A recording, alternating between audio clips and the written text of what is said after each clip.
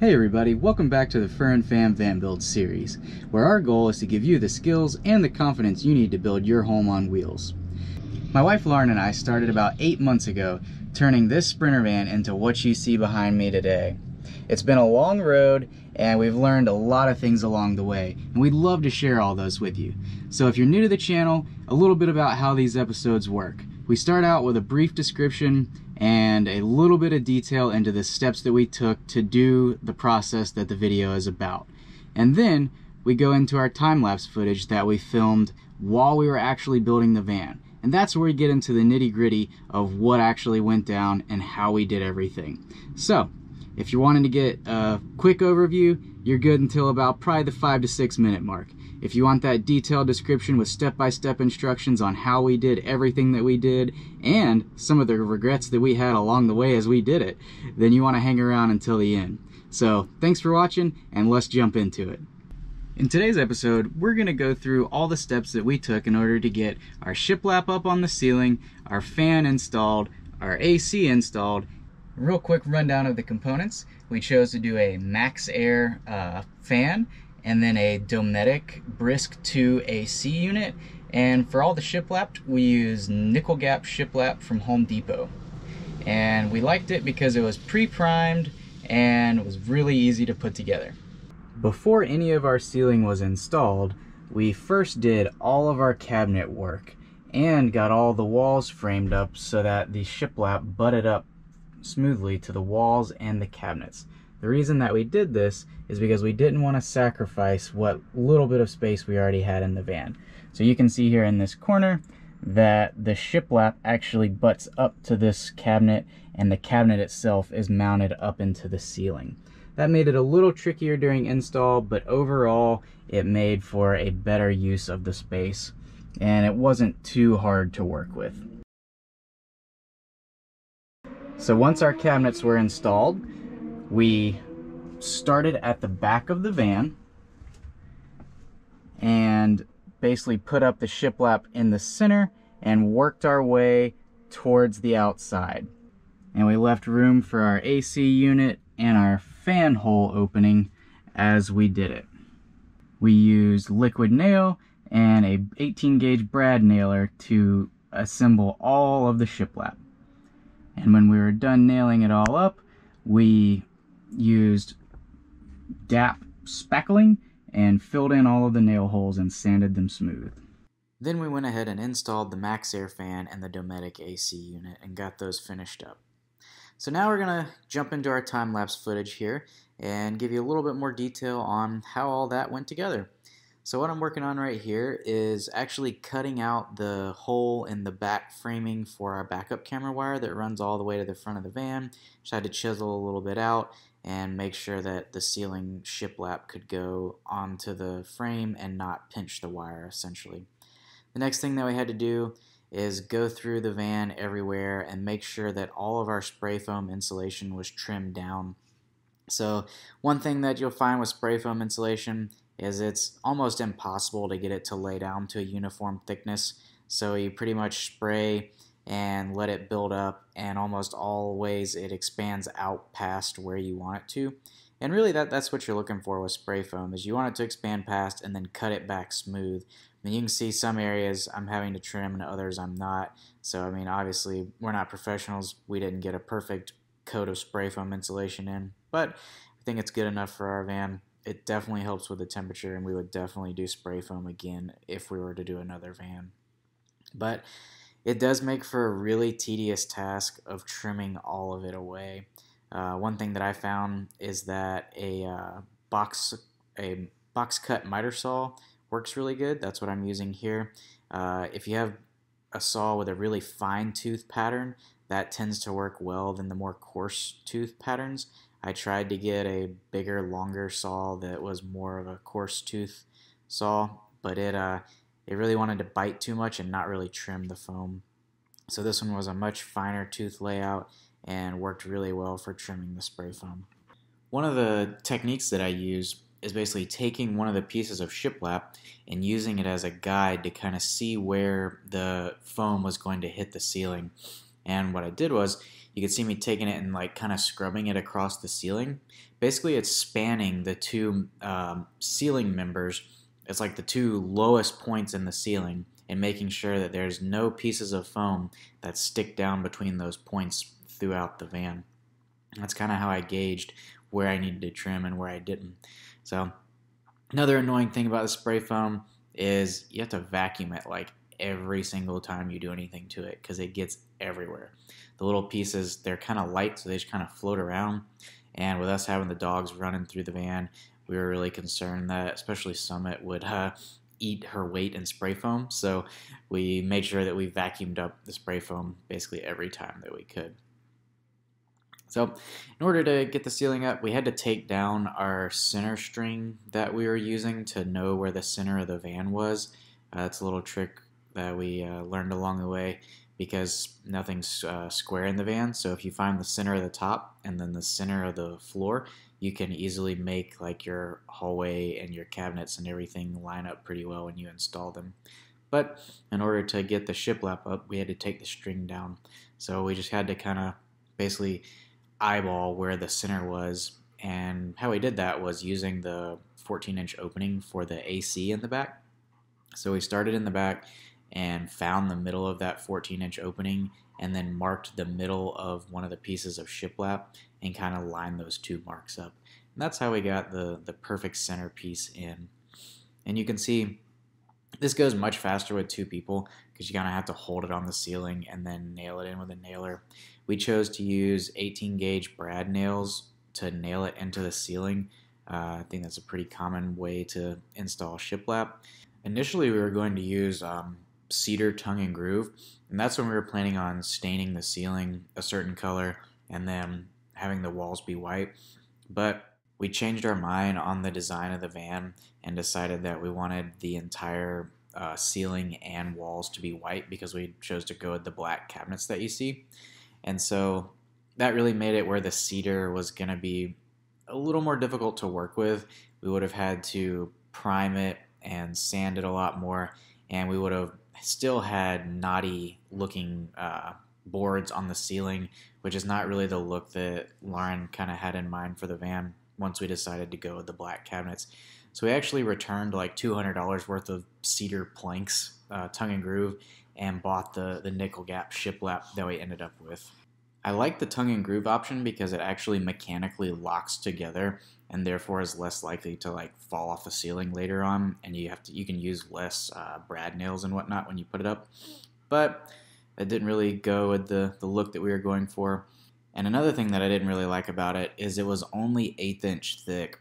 And some of the spans on our ceiling I think they were around uh, three to four feet in some areas. And that's really a, a pretty large span for eighth inch material. And I was kind of worried about the ceiling sagging over time so that's really how I ended up with the nickel gap shiplap. It's 5 8 inch thick and it was pretty pretty stout, so that seemed like the, the best option for us. And as far as installation goes, I mean, it goes together pretty well. It's uh, you don't have to worry about actually sticking anything in between the boards because the the little tongue that's on it is perfectly spaced to make it where the gap is exactly the same size all the time without having to stick anything in it. So we're working our way down the middle of the van and using some liquid nail and brad nails to get it up there. We chose to start in the middle rather than one side because of the way that the shower sticks out in the middle and also because of the way that the cabinets don't go all the way to the edge of the van on this side that the kitchen's on. So that would have resulted in uh, it would have been hard to start from one side and go all the way over because boards would have had to have been cut funny that you wouldn't have been able to tell which side was which uh, when you're going through. So that's why we started in the middle, and that made it where we could work our way out and cut out for the cabinets in the shower as we went. And it's, it's hard to tell from this view, but our kitchen cabinets actually stick out two inches further than the cabinets over our bed. And so that's what made that side tricky as well. Uh, another thing is we're mounting all of our lights in our shiplap and we had the wire pulled through the conduit in our ceiling already and that's the white stuff that's hanging down out of the ceiling and basically we wanted to have our lights evenly spaced, and so we made it where they went in the middle of certain pieces of shiplap. And all we did was just took a hole saw that was the right size for the lights that we bought, and just sawed through the the middle of the board and lined them up in the van. It's basically just measured as we were putting new pieces up. We would measure the distance that we wanted the light, and then mark it and drill the hole. And that way like you can see the two that are next to each other, they always match because they're measured from the same point in the van when we were going. So that was another little thing that we had to do as we were putting it up. And then one thing that we noticed, you see I got a clamp out here, and that is that clearly the van is not perfectly square. And so as we were running them, the gap was not lining up perfectly. So you, the nickel gap shiplap turned into two nickels and three nickels and four nickels. And so we used the clamp to kind of pull everything back together and then nail it down. So now we're getting into some of the parts that we had to custom cut. And basically I would just take the tape measure and pull it and see where the, like in, for instance here, where the shower was and then mark that and then measure the distance that I needed to cut in. And then we used a table saw to make those cuts nice and straight and make the edge the way we wanted it to. And then we came in with a jigsaw and cut the, the little piece out to make the piece fall out. Um, you can see I used a clamp on that one as well. And what it was is the, the openings for the fan and the AC, they were pretty close, but they weren't perfect. And so that's what created that little little difference that we had to pull in with the clamps on that end. And the, the way that we're working now is the easy way because you can stick the board on top of the tongue that sticks out, you can kind of see there. Uh, going the other direction, you kind of have to wedge it under and then push it up. And so that kind of got to be a little challenging when we got close to the cabinets, but we're going to get to how we how we figured that out and got through it here in a minute. We're still working this way. And one thing I did on the shower, you'll notice I left a lot of room there, and that is because our face frame was not finished for the shower. So in the particular piece I'm working on, I've got the little opening cut for the fan, I've got a couple lights drilled in it, and I've also got the opening for the shower cut in there. And when we get to the, the shower install video that's coming up in the next couple weeks, you'll see why I left that piece open there for the face frame to go up in between. And one thing that we ran into here is my wires, they're long enough to make it, but they were not long enough to pull through the hole and leave like I did in the other areas. I was worried that once I put the shiplap up, I wouldn't be able to get to the wiring. So in order to make sure that didn't happen, I went ahead and just wired the light as we were putting it up, which is, it was kind of annoying. learning how to stand there and hold it, and then I had to get the heat shrink and crimp it and do all that. But in the end, it really wasn't that bad. And so we got that board up, a bunch of liquid nail later. We put a lot of liquid nail around the fan openings just to make sure that that would uh, be nice and nice and snug. One of the main reasons that we were using the liquid nail is to try to avoid squeaking. So that's something like the van itself flexes and moves as you're driving down the road. And so anytime you use a mechanical fastener, it has the chance that it's going to squeak. And so if you'll notice, like in our earlier videos, almost all of our cabinets are glued together. Uh, a lot of them we didn't even use fasteners. If, if we did, it was pocket hole screws, but with glue as well. And so that's to prevent the, the squeaking and kind of bond everything together. So that's why we, one of the main reasons why we put the liquid nail up in conjunction with the brad nails. So this is the tricky part I was talking about. We're working through here. Basically, what I found was is that you could make two of the pieces and once you did that you'd have to install the far piece like we are doing here and then put the middle piece in and you kind of have to kind of force it in there and hammer it in a little bit but it ended up lining up pretty well. Gave us a nice tight clean finish up against the cabinets. And one thing that I didn't take into account with the cabinet design was the fact that the ceiling was going to hang over the face frame 5 8 7 inch. So you can kind of tell it here, but the gap at the top between the like the face frame opening is smaller than at the bottom. And fortunately, when we put the doors on the cabinets, uh, that didn't keep that basically didn't mess the doors up. We were still able to mount them and they open correctly. but if the ceiling had been any thicker, we probably would have run into some issues there. So if you're going to go this route, make sure you take that into account with your face frame design. That's something that we failed to do, and luckily it didn't bite us, and we're really glad that it didn't. But if we're going to do it again, we would make the face frames 5 eighths of an inch taller on the top than the bottom to keep a nice uniform look. Which now, I mean, when you look down the van, you don't really tell it, but it's something that I notice and it kind of bothers me. So I would definitely fix it in a future build. Then, if you're doing it, definitely learn from our mistakes and don't make that one. So now, fortunately, my dad came and helped out with the installation of the fan and the AC. That's something it's definitely a two person, maybe three person job. It took like four of us to get the AC unit up on the roof because the thing was just so heavy uh, and it's really big and awkward. So, what we're doing here is drilling the corners out for the fan. So, I just took a hole saw that gave me a nice radius in the corners. And one thing I learned is that when you're hole sawing through metal above your head, you basically get a bunch of really hot metal showered on you. So that's why I went and got a long sleeve t-shirt to wear while I was doing this because I was just getting, uh, actually getting burned. the little metal pieces were just stuck in my skin. It was uh, kind of not enjoyable. So that's one tip when you're cutting all this out. The Sawzall does the same thing too. It basically rains on you as you're cutting through the roof. Um, a lot of people actually tape this out on the roof and get up on the roof and cut it out from up there. But since we had the opening already framed out, I figured it'd probably be easier to just really use the, the opening as a guide and run the Sawzall. One thing that I should have done is had a slightly longer blade because the blade was just barely long enough so I had to be really careful when I was sawing not to uh, pull the blade through enough where it actually like hit the end of the blade into the metal and fold it over. I actually did that on one of the blades. But uh, once we got the, the hole cut out, we that's when I actually uh, stuck my head through here and I was standing on a cooler so I could get through there and actually do the, the installation. And one thing that I missed earlier in the video, it was kind of hard to see because we had the camera at a pretty terrible angle, but we actually put strips in between the ceiling and the wood framing of the fan.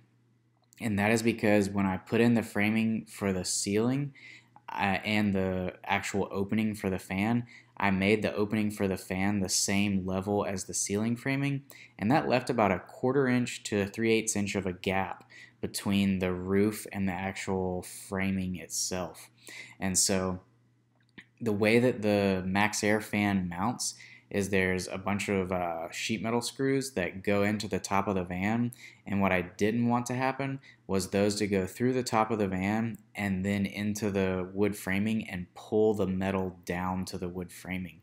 This would have created a low spot in the roof and made it where water would want to pool up. And that's something you definitely don't want uh, around a big hole that you cut in the top of your van. Because if water pools up around the hole, more than likely over time, it's going to find its way in the hole. So what I'm doing here uh, with all the clamps and the wood and everything is actually mounting the flange that the fan sits into, and that's what I was just explaining where the self or the uh, sheet metal screws kind of tap in. And what the clamps are doing up there is they're actually compressing out all of the butyl tape. So we ran two layers thick of butyl tape around the entire uh, little mounting bracket that bolts down to the top of the van. And then that particular day, it was probably 98, maybe 100 degrees in South Carolina. It was freaking awful. So the roof of the van was probably like, I don't know, 150 degrees. So the butyl tape was really pliable and it smushed out really, really well underneath the uh, little shroud.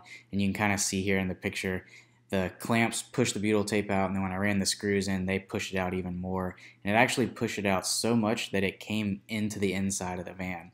And that was one way that we knew we had got a really good seal with the butyl tape. So I was really happy with that. And I actually drove the van for, I don't know, a couple weeks with only butyl tape up there. And I was really surprised. It withstood a couple of really hard rains and never leaked a drop.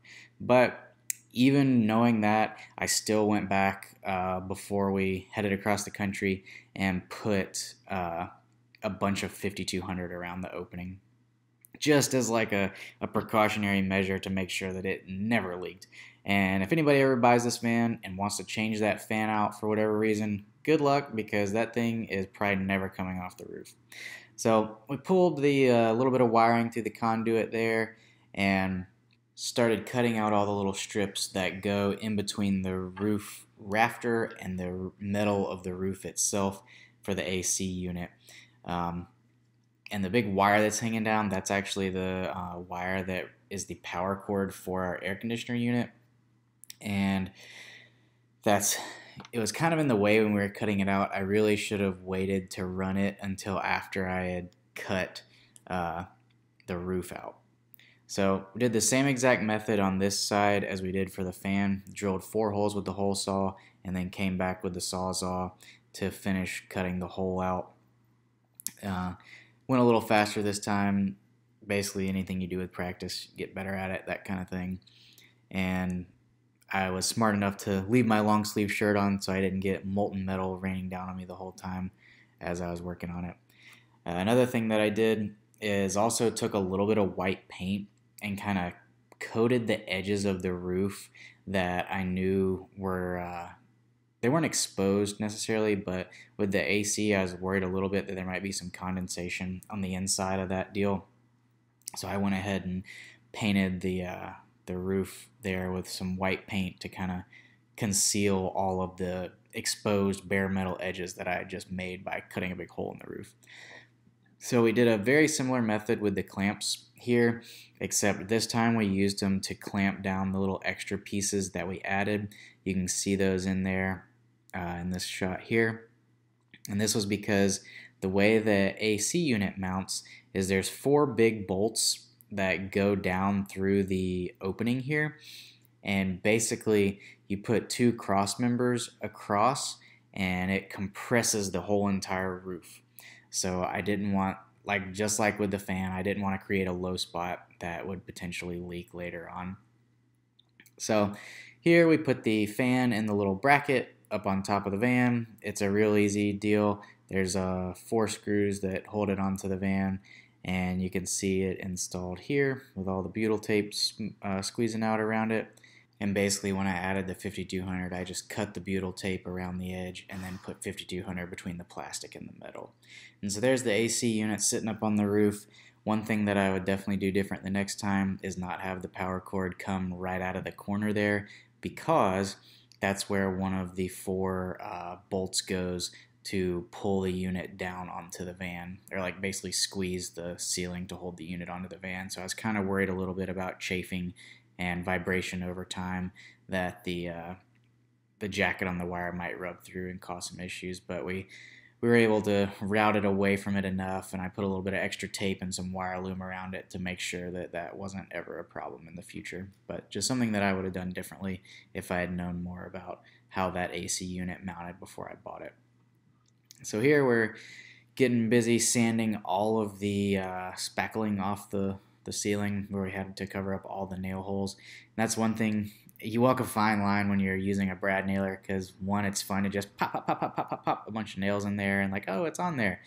But then you start to uh, sand off all the spackling that you have to put on to fill all of those nail holes, and you're like, oh man, I wonder if I could have got away with less nails. So, so that's something to definitely keep in mind as you're putting up any shiplap and you plan on painting it and covering up your nail holes because for every pull of the trigger is another nail hole that you have to fill with spackling and then sand later on. And as you can see, the sanding process is not a uh, not a short one. I eventually get tired of sanding with my hands. I got a, a great shoulder workout during this part of the van, and uh, I'm about to go grab the power sander here in a few once I give up hand sanding. Uh, another thing that you can do too if you don't have your lights completely installed and you're trying to work at night is you can pull them out of the ceiling and shine them where you need to and this will basically uh, cast a better light on the surface that you're working on and see surface imperfections. This is actually a trick I picked up from uh, one of my contractor friends who, when I was buying my house, he showed me how to find all the imperfections in drywall. And basically, you just take a flashlight and shine it down a wall, and the shadows that it casts will show you all of the imperfections in the drywall. So, if you own a house and you want to see how good your drywall tape jobs are when they built your house, take a flashlight and shine it down it. And unless you live in a rather expensive custom built home, you're more than likely going to be amazed at the amount of imperfections you see in your drywall. So that's one thing I was doing with the lights here, just a little little trick that I picked up from there. And another thing, if you're working with this uh, DAP spackling, make sure that you wear a uh, mask. Now, all COVID jokes aside, I wore a mask during the rest or during the build of this van, probably more times than not just because of all the sanding dust and woodworking dust and everything. But this is something definitely working with this stuff. I mean, you can see in the time lapse how the dust is just falling off the ceiling, basically. So definitely don't want to be breathing that stuff in. It's definitely not good for you. Make sure you uh, keep yourself safe, wear a mask, and protect yourself from COVID at the same time. So you can see I finally broke out the power sander and using that to get the final final bits sanded up and ready for paint. So we got the sanding done, or really the bulk of the sanding, and now what we're going to do is fill in a couple little nail holes that we missed. I noticed them when I was sanding, so I marked them, and Lauren's coming back with the spackling and filling those in. So I have to do a little bit more sanding before we paint, but we wanted to have a nice and perfect paint job on the ceiling, and that was the, the way to get it done. So Next step is to basically clean out all the joints. You can see I'm taking a putty knife and running it in between the, the shiplap and kind of making sure all the, the uh, spackling is out of the joints and everything looks nice and clean. And what we're about to do is start to mask off in order to caulk all the seams where the cabinets meet the ceiling. Now, a couple things about this process. It definitely pays to tape things off because as you're working with uh, caulk, you'll realize that when you start smearing it into a corner, it builds up either on your finger or a little caulk spreading tool, whichever you prefer, really, really quickly. And then that fans out and gets really wide, and then it gets all over your cabinets. So in our case, we did not want anything on our black cabinets that were already installed. We're using white caulk. So that was why we took all this time to tape everything off. And I mean, the taping, yeah, it adds a lot of time, but it really does create a nice, clean caulk joint, and that's something that we were we were going for. And unfortunately, I made a rookie mistake on the first caulk job. I left the tape on until the caulk dried, and so when I pulled the tape off, it basically just ripped the caulk out with the tape, or either ripped the tape out from under the caulk and left a big flap hanging there. So don't be like me. Uh, the proper way to do it is to go ahead and tape everything up and then put your caulk bead in, spread the caulk out, make it look nice and smooth like you want it to, and then pull the tape off. Don't wait for it to dry. If you pull it off when it's wet, you'll get a nice smooth caulk bead that doesn't have any flaps hanging off of it or anything stupid looking, and uh, it'll save you a lot of time later. So you can see here we're finishing up the the tape job on the ceiling. And so I think in total we went through probably five or six rolls of this blue tape because like I said I messed up and had to recaulk everything once. And so that didn't really uh, help anything either.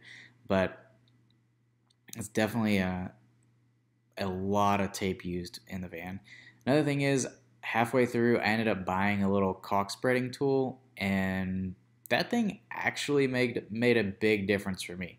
Now Lauren, she prefers to just use her finger and and spread everything out that way. But I found that I got a much cleaner joint if I used the little caulk spreader tool because it has a little triangle on one end that has different radiuses, so you can choose the radius of your caulk bead. And to me, it, it made a nice uh, clean finish, and I like to use it better. But the joints that Lauren did with her finger, they look pretty good too. So to each their own, I guess. So you can see we're going around. This is the, the time when I was using my finger and smearing it in there. And it's actually a, a pretty long process. Uh, there was there's a lot of joints on the van, so I ended up using probably two tubes of this caulk during the whole process. And that's one because I had to do it twice, and two because I was putting pretty liberal amounts on it as I went to make sure that I got really good coverage in between the, the joints. And one thing to make sure you use is a really, really flexible caulk. Uh, I think this was a Dynaflex caulk. It was the, the one with the best elasticity rating that I could find. And so far, uh, we've been uh, close to 5,000 miles now in the van with, uh, with all the uh, conversion mostly done. And I think maybe one of the caulk joints has split, and it's not even in a really noticeable place. So once all the caulk dried, we pulled all the tape down for the second time, and then we put a nice coat of white paint on everything and got ready to install the bezel for the fan and the uh, air distribution box for the AC unit, which we're going to jump into right now. Underneath the air distribution box, there's actually two crossbars that run uh, side to side in the van. So basically from this side to that side. And there's four bolts that come down through the roof and are connected to those crossbars. And there's a big gasket on the AC unit. And it runs the full perimeter around the AC unit. And when you tighten down the four bolts in all four corners, basically the big gasket gets compressed and it seals the AC unit to the roof. From there, we did a little bit of wiring and wired up the AC to 120 volt power. Then came time to put the air distribution box on. And you can see the little screws there and there where it's put on. And there's eight of those around each side, or each vent has two of them. They're more difficult to see in this one, but there's one in there and one over there, and so forth and so on around the AC unit. Then what's left is to put the knobs on for the on and off and the temperature control and you're good to go. The MaxxAir fan comes with a nice plastic bezel that hides the edge of the ceiling. And it comes really, really tall and you have to cut it down to whatever thickness that your ceiling is. Now we used a Milwaukee Sawzall and trimmed it down that way and then installed it with the four screws, one in each corner that come with the fan. And then we installed all of our lights for one final time all throughout the van. Now, we're not quite done with our ceiling. There's one area that still needs attention, and it's this seam that runs right there. And what our plan is to do is eventually we're going to put a small piece of trim over that seam that hides it. So that pretty much does it for our shiplap, fan, and AC installation. We hope you liked the video, and if you do, make sure you hit that thumbs up button. If you have any comments, make sure you drop those below. Any questions, drop those below as well, and we'll definitely get back to you with an answer. And if you are ready for the next video in the series, make sure you hit that subscribe button, turn on notifications, and check back in two weeks. Thanks for watching!